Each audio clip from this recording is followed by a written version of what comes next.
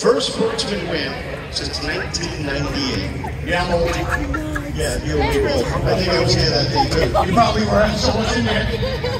Um, first and foremost, gotta thank the Lord our Savior even allowing this to happen again. You know, I was pretty much done with racing. Like the Danny, but I even tried this hard. They got me involved in racing again. They made it fun again. So in order to give them their first win, their first top five, I can't be any more thrilled. I really can't. This is an opportunity of a lifetime.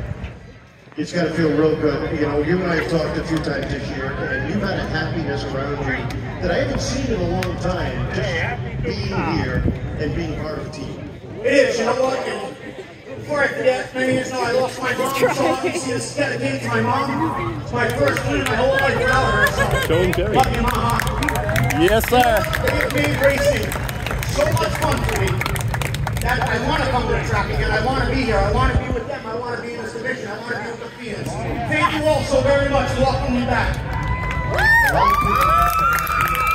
I know I'm not proving it, I think 110%. Mike, Tammy, Caleb, the guys at the shop, listen, huge thank you, Corey Fanning. We've been struggling with this kid, Corey, come down the street.